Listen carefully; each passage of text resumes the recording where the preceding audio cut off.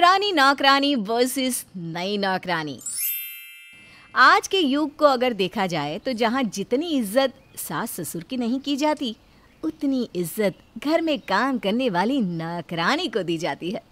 अरे भाई, और दे भी क्यों ना? आखिर वही तो है जो बहुओं का बोझ कम करती है। वरना ससुराल वाले तो काम बढ़ाते ही हैं। इसलिए बहुओं को कुछ भी कह लो, बस उनकी नौकरानी को कुछ ना कहना।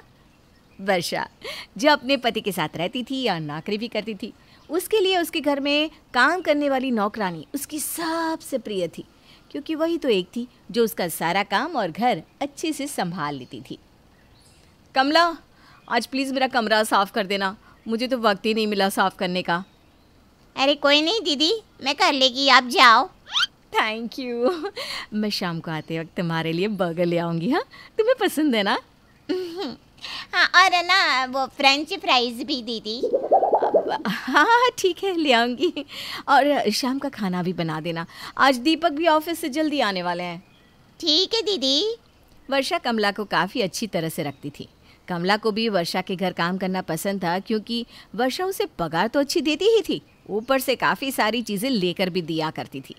कमला वर्षा के घर करीब दो सालों से काम कर रही थी और सारा काम अच्छे से संभाल भी लेती थी। पर आज कमला ने वर्षा से कुछ ऐसा कहा जिसे सुनकर वर्षा काफ़ी टेंशन में आ गई। ये तो क्या कह रही है कमला? तू तू तू काम छोड़ रही है? हाँ दीदी। मेरी शादी होने वाली है ना तो मेरे को काम तो छोड़ना ही पड़ेगा। पर शादी के थोड़े वक्त के बाद फिर से काम शुरू कर देगी मैं। और तब तक मैं क्या करूँगी? तू जानती है ना मैं जॉब करती हूँ। मुझे घर के काम और खाना बनाने के लिए कोई तो चाहिए ना। मैं समझती है दीदी पर मैं क्या करेगी? अब तीन चार महीने में काम फिर से शुरू कर देगी बोल रही है ना? पक्का दीदी? तीन चार महीने तक मैं कैसे संभालूँगी सब कुछ?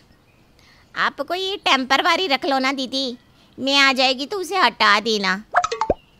हम्म, ठीक है चल देखती हूँ कुछ। कोई अच्छी काम वाली मिल जाए तो। दीदी मैं जल्दी आएगी। अब फ़िक्र न को करूँ।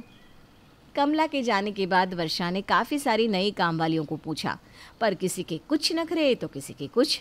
पर जब उसने इमली से बात की तो वर्षा को वो काफ़ी सही लगी और उसने इमली को काम पर रख लिया। इमली ये ले तेरे लिए पानी पूरी है। खा ले फिर काम कर ठीक है? दीदी आप कितने अच्छे हैं। मुझे बहुत मज़ा आता है आपके घर काम करने में। अच्छा अच्छा। चल अच्छा है तो यहाँ सेट हो गई है। वैसे तो कमला ने कहा था कि वो जल्दी ही वापस आ जाएगी।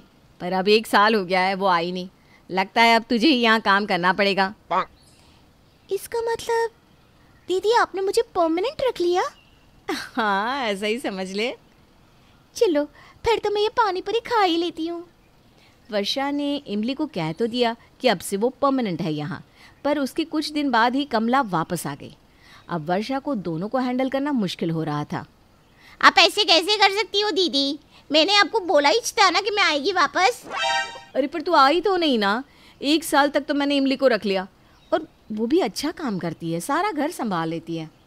कहा अच्छा काम करती है दीदी? ये देखो मैं दिखाती है आपको। ये देखो जाले ऐसे पड़े हैं ऐसे ऊपर। टेबल भी अच्छे से साफ़ नहीं खेला है। अरे खाना? ये कोई खाना बनाया दीदी? बिल्कुल स्वादिष्ट नहीं है फीका है एकदम। मैं होती थी तो कितना अच्छा खाना आपको खिलाती थी। अब देखो आप कितने कमज़ोर हो गए ले दीदी। अरे नहीं नहीं कमला। इमली भी बहुत अच्छा खाना बनाती है और घर का काम भी अच्छा करती है। हाँ दीदी। अब तो आपको वही चच्ची लगेगी। आप भूल गए क्या कि बे और आप बैठ के कैसे गप्पे मारते थे? अरे अरे कमला रो मत। ठीक है मैं इमली से बात करती हूँ कि तू काम पर वापस आना चाहती है बस? हाँ दीदी करो बात। कमला के आ जाने से वर्षा धर्म संकट में पड़ गई थी। उसने कमला को तो कह दिया कि वो इमली से बात करेगी पर जब वो इमली से बात करने लगी तो ये कैसी बात कर रहे हो दीदी आप? अभी कुछ दिन पहले ही तो आपने कहा था कि मैं ही इधर परमानेंट काम करेगी। मैं तो आपको अपनी बड़ी बहन मानती हूँ। आप मेरे साथ ऐसा कैसे कर सकते हो? हाँ मैं जानती हूँ इमली पर वो कमला ना मेरी पुरानी काम वाली है। बहुत टाइम उसने यहाँ काम किया है। क्या खाक काम किया है दीदी? मैं जब यहाँ आई तो कुछ भी साफ़ नहीं था, सब कुछ गंदा रखती थी। वो रसोई भी मैंने कितने अच्छे से साफ़ की है। और तो और ये देखो, आप कितने तंदुरुस्त हो गए हो। पहले तो कितने कमज़ोर लगते थे। अरे, कहाँ फंस गई? ये दोनों तो एक दूसरे के लिए बिल्कुल एक जैसा ही बोल रही हैं। दोनों में से किसे ना कहूँ और किसे? अरे, इमली, ऐसा नहीं है। कमला सच में बहुत अच्छा काम करती थी और मेरा पूरा घर वही संभालती थी। हाँ दीदी। अब तो आपके पुराने सहेले वापस आ गए। तब मेरे पेट पे लात मार रहे हो।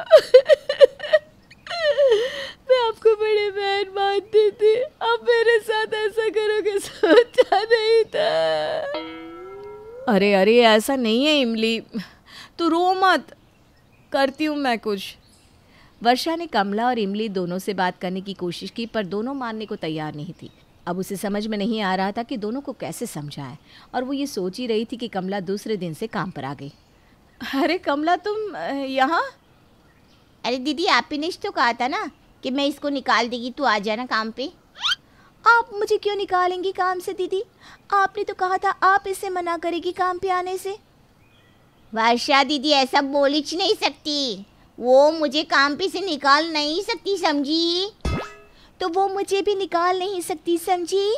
उन्होंने मुझसे कहा कि वो तुमसे बात करेंगी। आ तो मुझसे बात की ना कि वापस आ जा काम पर इसको निकाल रहे लिए मैं। अरे देखो तुम दोनों मेरी बात सुनो। दीदी मैं जानती है। ये ज़बरदस्ती यहाँ काम कर रही है ना? मैं? या फिर तू ज़बरदस्ती यहाँ आ गई है वापस? मैं इधर दो साल से काम कर रही थी। दीदी के पास तो मैं ही काम करेगी। तूने अपना काम छोड़ दिया था और मैंने संभाला है सब कुछ यहाँ पर। चल निकल तू यहाँ से। तू जाती है या फिर मैं? मैं क्या? तू क्या कर लेगी? प्लीज़ प्लीज़ तुम दोनों चुप हो जाओ। मेरी आँखों में तो आँसू ही आ गए। तुम दोनों को मेरे घर काम करते देख। इसलिए मैं तुम दोनों से एक बात कहना चाहती हूँ। फिर तुम डिसाइड करना कि कौन यहाँ काम करेगा। हाँ दीदी बोलो ना। दीदी आप बोलिए तो सही। काम तो मैं ही करेगी इधर। मेरे और मेरे पति की नौकरी चली गई है। और जब तक हम दोनों की नई नौकरी नहीं लग जाती, तब तक मैं तुम दोनों को पगार नहीं दे पाऊँगी।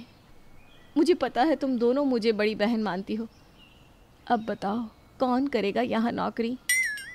अरे, पगार बिना इतना काम कौन करेगा? मैं ही निकल लेती हूँ। पैसे नहीं और इतनी मेहनत? नहीं नहीं, मैं ही खिसक लेती हूँ इधर से। दीदी, मैं किसी का ना काम नहीं छीनने को चाहती। अब इसी से काम करवा लो। अरे नहीं नहीं नहीं ये इधर पहले से काम करती आई है। दीदी आप इसी को रखो मैं तो अभी अभी आई हूँ ना। नहीं नहीं इमली तू कर ले काम। मेरे को एक दो और घरों के भी काम है। मैं चलती है दीदी।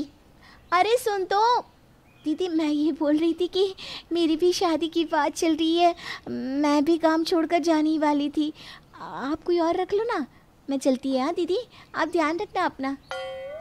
अरे सुनो तो सही दोनों। हेलो, सुनीता, तू आ जाना कल से काम पे। हाँ मेरी जो मुसीबत थी ना, अब तो वो सॉल्व हो गई है।